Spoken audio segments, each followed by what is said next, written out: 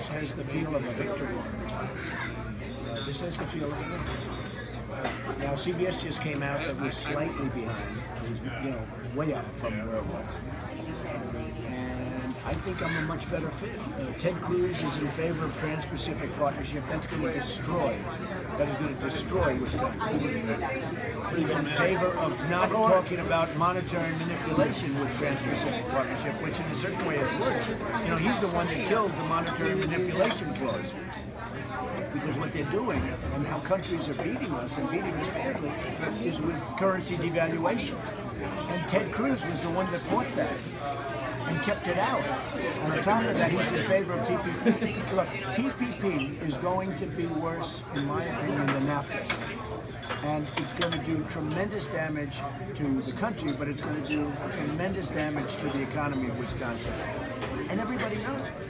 And Ted Cruz doesn't want to talk about it you know, in all fairness, when they're spending millions and millions of dollars, and it's Club for Growth, who are extortionists, they came to my office, they asked me for a million dollars. I said no. They then wrote me a letter asking me for a million dollars. I didn't even know who they were. I said, you know, I don't want to give you a million dollars. Who are these people? And your ego. They came to my office. They asked You me have for a million everything you dollars. I don't know if need. you You know guys are about this. Take an orange. Club for Growth. They come to my office, they ask me for a million dollars. They write me a letter asking me for a million dollars. I said, no, thank you. And now they're doing negative ads all over the place. That's called extortion. I'm taking tremendous negative publicity for Club for Growth, which asked me for a million dollars, and I said no. okay? Now, if I would have given them the million dollars, see, that's politics.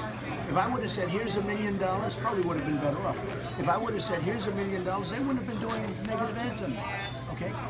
But then I, at least I have, the, you know, the loudspeaker that can tell you people about it. Green, you made a mistake with the retweet of the picture of Ted Cruz's wife. I'm curious with this sort of back and forth on abortion this week and also the, the photo. Is there anything else you might have done differently in, in Wisconsin or this past week you would change? A lot of people called me up on abortion. They had some tremendous support. I mean, tremendous support on the whole way the abortion question was answered, including the first answer. Okay? Tremendous support. Um, so we're going to have to just see how it all turns out. I think we're doing very well. One is, shouldn't be allowed to run. Honestly, Kasich should not be allowed to run. I'll go opposite on you. He hurts Trump much more than he hurts Cruz. And in New York, I had I have tremendous numbers in New York, and I have tremendous numbers in Pennsylvania. Those two numbers just came out from CBS. I guess you saw them. But Kasich shouldn't be allowed to run. Look, under the grounds that Rand Paul could have stayed in, and he had nothing. Marco Rubio could have stayed in. Jeb Bush could have stayed in. They all could have stayed in. They could have just stayed in. That's all he's doing. He's one for 29. And the one thing that he won barely, and if I spent one more day in Ohio, I would have beaten him because I came pretty close. The only thing Kasich won was Ohio, where he's the governor, and where he has the machine working, which isn't doing well. It's in the middle of the pack of his neighbors. He's only in the middle of his pack. He's not doing well in Ohio. If you look at his neighboring states, he's exactly in the middle of the pack. That's not great. Kasich shouldn't be allowed to continue, and the RNC shouldn't allow him to continue. And Kasich has more of an impact on me than he does uh, Cruz, in my opinion. I mentioned it to the RNC. I said, why is a guy allowed to run? All he's doing is just he goes from place to place and loses, and he keeps running. Well, why doesn't Marco Rubio do that? Why doesn't Jeb Bush do that? Why didn't all of them do that? After it was their time. Now, if he wants to go and have his name put in nomination in the convention, in the convention, he can do that.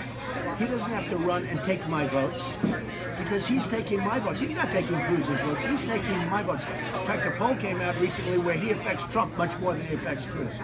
And in the East, where I'm dominating, he's taking my votes. So it's very unfair that Kasich stays in. Did you ra- did you raise these concerns to Reince Priebus? I, I mentioned it to him. I think it's very unfair. Kasich is is it 29? I think it's one for 29 or one for 28. Now, when you're one for 28, well, other people were doing much better than Kasich, and they left the race because they knew they couldn't win. Now, if he wants to have his name put in, which is what he's looking to do because he can't win. He's so far behind. But if he wanted to have his name put in, he can have his name put in. We cannot continue to defend the world. There's no bigger threat than nuclear. I know that better than anyone. I know more about nuclear than anybody. You know, the problem is the press only puts one thing let Japan arm. I'm not saying that. I'm saying Japan, you have to pay us more. We're losing too much money. We have 19 trillion in debt. We're losing our shirts. We can't do it. Germany, you have to pay us more. Saudi Arabia, you wouldn't be there if it wasn't for us. You have to pay us more. Nobody ever says that. They all say Trump wants them done. I think what will happen is they will probably pay much more, which will be a tremendous help to the United States, among other things. We're going to trade new trade deals and everything else, but among other things. Now, when they pay us more, that will be a tremendous help. But nobody talks about that. They only say, I want them to arm. I don't want them to arm. I want them to pay us more. Now, if they don't pay us more, then we have a big decision to make. But my decision would be they're going to have to defend themselves. Look, it's going to be very interesting. All I know is I'm here. I'm loving it. I'm having a great time. I, and I think I'm going to win Wisconsin. I actually think I'm going to win. Now, you have these dishonest radio hosts who want the establishment to win because you have a whole big thing going over here between advertisers and campaign contributions and all of the crooked stuff that you have going. Thank you. All of don't worry about my eggs being cold. Don't worry. They don't feel they don't feel guilty. This is the press. They have no guilt about my eggs being. His his eggs are cold now, so you should allow me to eat the rest them. Then I'll say you your food is terrible. Then I'll blame. Exactly, like all that. I'll have an orange juice. Sure.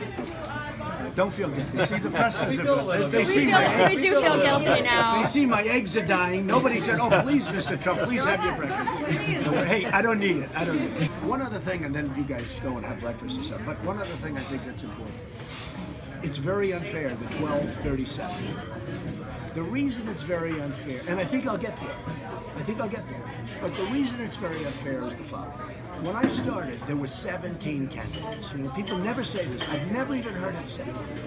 When I, I didn't have two candidates or four candidates, I had 17 candidates. Most of those candidates were accomplished people. You had governors, you had senators, you had people like Dr. Ben Carson, who's endorsed me and he's an amazing guy. You had a lot of accomplished people. And you had a lot of people. The biggest field ever in the history of, of what we're doing. When I went to those first primary states, we had many, many people on the ballot. And I won, you know, I could win with a small, basically small number. And the small number is like a, a phenomenal number that you could get that much.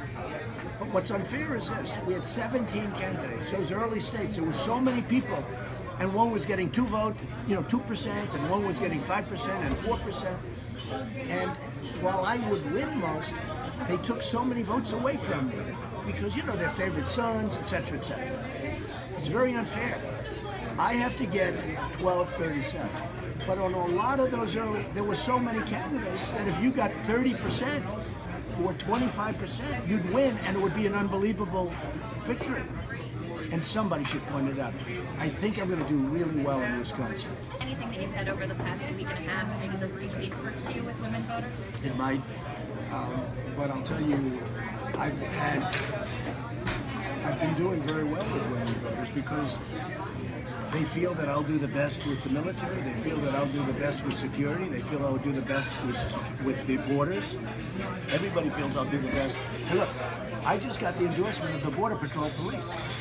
They've never endorsed anybody. The Border Patrol. These are incredible people. They endorse Trump.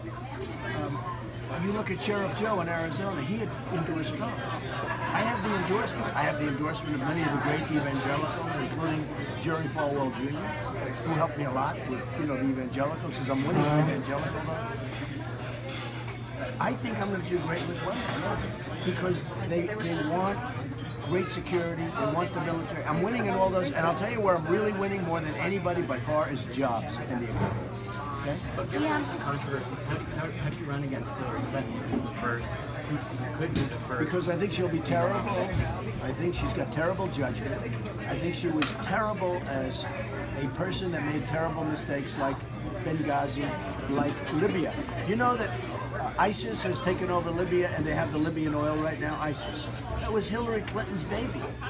And ISIS has taken over the oil in Libya, which is great oil, by the way, very dear oil. Um, I think she is so deficient on security. She is so deficient on the border. She is so weak in so many ways that I think I will beat her easily. But I haven't started on her yet.